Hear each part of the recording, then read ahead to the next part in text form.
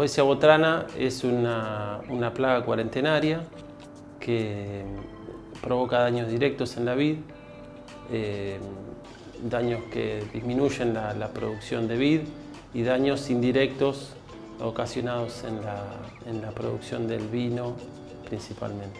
Desde el año 2010 está instalada una red de trampeo en todo, todas las zonas productivas de vid del país y eh, esta semana se detectó eh, un adulto de lobesia botrana en la localidad de Santa María, en la provincia de Catamarca.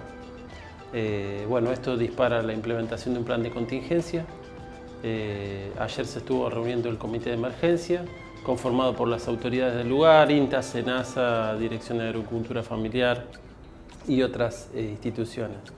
Eh, de la provincia de Catamarca. El plan de contingencia abarca un kilómetro de radio a partir de la trampa que tuvo la captura y dentro de ese área eh, se reglamentan eh, todo el movimiento de artículos reglamentados como la uva en fresco, la maquinaria agrícola utilizada para la cosecha de la vid y las herramientas y los artículos este, que se utilizan para la cosecha de, de la vid.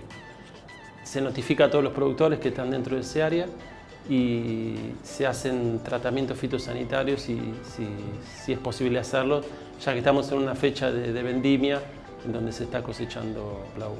La medida importante que, a recalcar es que hay que realizar una cosecha completa de, de todas las fincas que están dentro de ese área, sin dejar fruta remanente en la planta.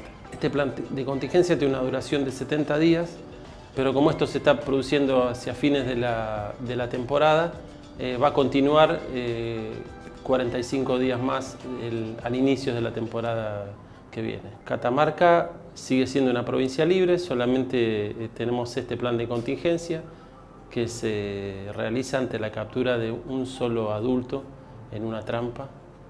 y bueno, esto va a permanecer así durante el tiempo que dure la contingencia.